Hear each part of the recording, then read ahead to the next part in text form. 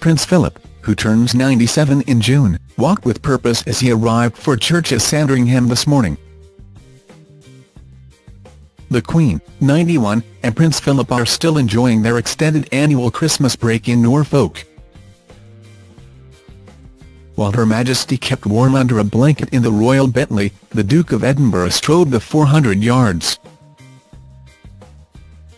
Also in attendance was Princess Anne, in a stylish brown ensemble, who joined husband Sir Timothy Laurence and the Duke and Duchess of Gloucester for the service at 16th-century St Mary Magdalene Church.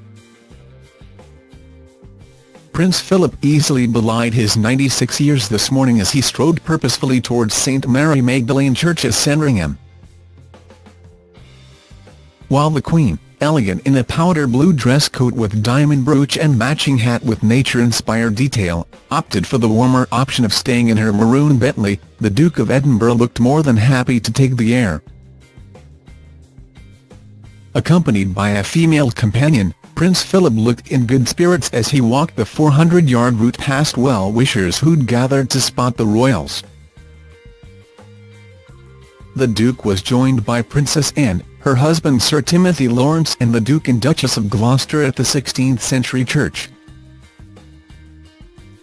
Scroll down for video Princess Anne, 67, who is wearing a brown cape coat with a fur trim walked to the church with her husband Sir Timothy Laurence, the Duke and Duchess of Gloucester and other house guests at Sandringham. Sir Laurence enjoyed a joke with members of the crowd who wished him good morning. Commenting on the sunny weather, he told one member of the public, I hope you are not sunburnt as has become the norm, well-wishers hoping to catch a glimpse of the royals on their visit to the Sandringham Church were subject to a heavy police presence with security checks being made along the route.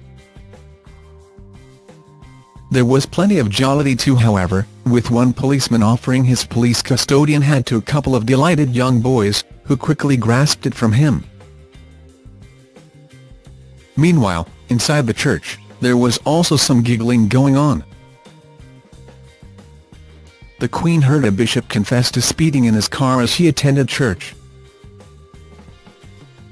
The Bishop of Blackburn, the Right Reverend Julian Henderson, confessed his motoring sin during his sermon at St Mary Magdalene Church in Sandringham. The bishop was preaching about the supreme authority of Jesus and comparing it to the authority of other leaders and even objects such as speed cameras he admitted being caught speeding by a camera last year and having to attend a speed awareness course to avoid getting points on his license. The congregation giggled as he described sitting in a room with 20 other shamed offenders, only for one of them to recognize him and smile knowingly. The service which was broadcast on loudspeakers to the crowd outside in a paddock area began with the singing of the national anthem. Sandringham rector the Rev Canon Jonathan Riviere offered prayers for the Queen and all members of the royal family as they fulfill the service among us. The Queen and Prince Philip are enjoying their extended festive break in Norfolk, having arrived at the royal estate back in December before they welcomed the rest of the family, including Meghan Markle and Prince Harry, for festive celebrations. The Duke retired from official public duties last summer but has continued to be photographed looking sprightly and in good spirits. Philip, who will celebrate his 97th birthday in June, has frequently chosen to walk the route to St Mary Magdalene Church in recent weeks, with the Queen preferring the short drive between the estate and the church.